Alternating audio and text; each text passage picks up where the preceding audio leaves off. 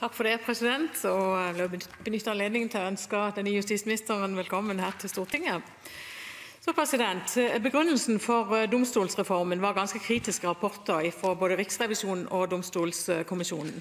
Utfordringa var lang saksbehandlingstid, ineffektiv Presidenten gjør oppmerksom på at representanten kun skal lese spørsmålsteksten, ikke holde innlegg utover det.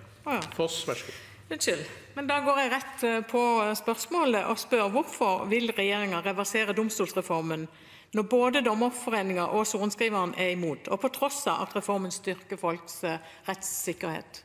Statsråd Mehl. President, Regjeringen ønsker selvstendige domstoler med stedlig ledelse. Vi mener at det er viktig både av hensyn til fagmiljøet og ikke minst arbeidsmiljøet i domstolene. Denne regjeringen er opptatt av maktfordeling, og flere selvstendige domstoler betyr også større spredning av makt. Norge har hatt en desentralisert eh, makt i form av sorenskrivere i flere hundre år, og det ønsker vi å fortsatt ha. Jeg mener at det reiser noen prinsipielle spørsmål eh, at denne makta nå er sentralisert til bare 23 sorenskrivere. Regjeringen ønsker derfor å gjeninnføre strukturen i domstolene fra før reformen. Jeg er klar over at det er delte meninger i denne saken, og at bl.a. Dommerforeningen og sorenskriverne er imot en reversering av reformen. Men samtidig er det andre aktører som ønsker å gjeninnføre den gamle strukturen, eller som aldri ønska reformen i det hele tatt. Det gjelder bl.a. flere kommuner og ansatte i domstolene, i sin tid var det 180 ordførere som skrev under på et opprop mot reformen. Og Regjeringa vil i sitt videre arbeid være opptatt av å ha en god prosess, og vi vil eh, involvere og lytte til berørte aktører. Derfor har vi også sagt at det vil gjøres unntak der hvor kommunene i rettskretsen, domstollederne og de ansatte i domstolene som er representert ved fagforeningene, er enige om at det er best å beholde dagens struktur, slik som det også er eh, nedfelt i Hurdalsplattformen. Reformen ble innført våren 2021. Derfor mener jeg at det er for tidlig å si noe om effekten av reformen og for tidlig å konkludere med at den har styrka folks rettssikkerhet. Regjeringspartiene har hele tiden ment at det ikke var nødvendig å endre strukturen for å oppnå bedre ressursutnyttelse og økt fleksibilitet i domstolene.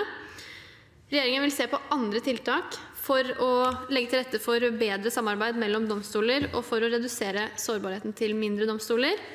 På denne måten vil vi sørge for at innbyggere i hele landet er sikra et godt domstolstilbud. Det vil også være viktig for å følge opp Riksrevisjonens kritikk og anbefalingen om å øke fleksibiliteten i ressursbruk gjennom, eh, mellom domstolene. Foss. President, eh, takk, eh, takk for svar.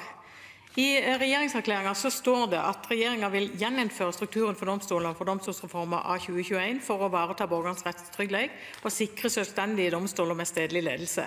Med unntak for domstoler der domstolsleder, kommunene i rettskretsen og de ansatte gjennom sine tillitsvalgte er samde om å opprettholde dagens struktur.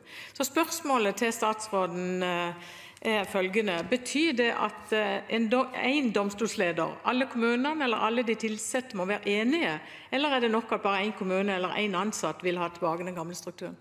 Statsråd Mehl. President, ehm, I denne saken skal vi også gjøre et grundig arbeid og ha en god prosess som gjør at vi får eh, innspill fra alle som blir berørt av, eh, av dette. Men plattformen er jo ganske tydelig på dette punktet. Vi ønsker å gå ut bredt og få innspill fra både kommuner, fra, fra domstolene og fra de ansatte. Og så er det sikkert andre også som vil ønske å komme med sine innspill. Eh, akkurat eh, prosessen i dette er noe som jeg har begynt å jobbe med, og som eh, vi må komme tilbake til når det er klart. Ja, president. Ehm, det er flere enn meg som lurer på det prinsipielle i dette. og Det siste spørsmålet i denne runden eh, er fra meg er at mener justisministeren at organiseringa av den dømmende makt skal være en del av det kommunale selvstyret? Statsråd Mehl.